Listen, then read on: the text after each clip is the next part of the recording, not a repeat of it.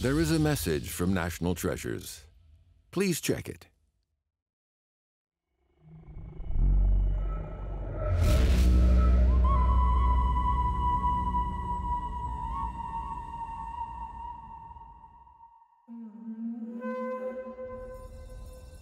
What are those two round turquoise objects?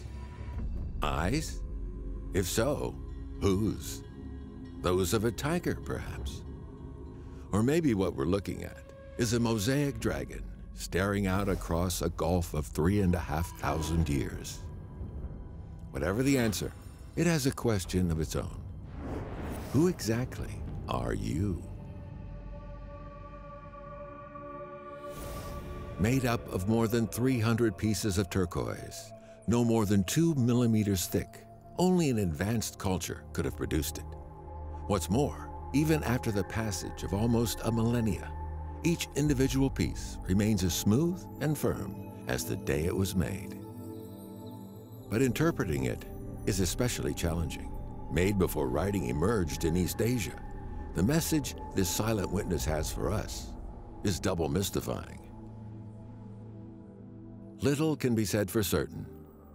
Discovered in Erlitou in Henan province, excavations here have revealed that this was once the site of a great city, perhaps home to tens of thousands of people. It was also a hub of what was then a cutting-edge industry, bronze casting. Could this be the capital of China's first recorded dynasty, the Xia? Bronze casting emerged in the Middle East and Central Asia spreading first to northwestern China and then to the Longshan culture of the Central Plains. What distinguishes the bronze work of the Erlitou culture is its size. Whilst earlier prehistoric bronze-making cultures confined themselves to small items, the Erlitou culture pioneered the production of bigger and better bronzeware. More than 200 bronze artifacts have been found at Erlitou. This jue, a kind of goblet, is the earliest decorated ritual drinking vessel discovered in East Asia.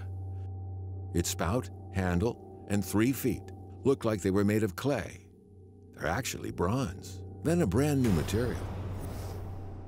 It's this mastery of bronze making techniques and the ability to combine it with other materials that make the Erlitou culture unique. So, one of the significances of this treasure is that it represents the marriage of two materials, bronze inlaid with precious turquoise, bringing the Bronze Age in East Asia to new heights of sophistication. But regardless of the innovative combination of the two materials, the skillful, cunning grinding of the turquoise pieces into the variety of shapes used in the final composition and their exquisite polishing is a triumph of craftsmanship in itself. The scales of this seven centimeter long dragon are 2,000 turquoise pieces, and the eyes are made of white jade. Staring blankly upwards, it's difficult not to conclude that there's a connection between this mythical creature and the heavens above. That's likely discovered in a tomb, partially covering the occupant's skeleton, alongside a bronze bell and a jade clapper. The chances are it played a role in a ritual of some sort. That might also help explain the dragon's eyes, ever alive and sparkling, piercing the dark of the tomb, a link between the deceased, his ancestors, and the here and now.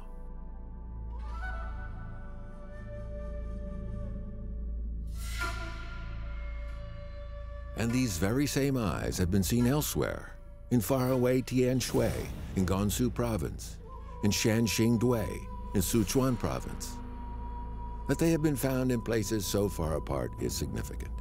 3,000 years ago, people from all across the vastness of China were communicating, sowing the seeds of a common culture. It cannot speak. Its gaze is impossible to read. But it's a silence that speaks volumes. A pair of eyes that saw the very beginning, that witnessed the very first Chinese dynasty. Eyes that as a new era dawns, are watching still.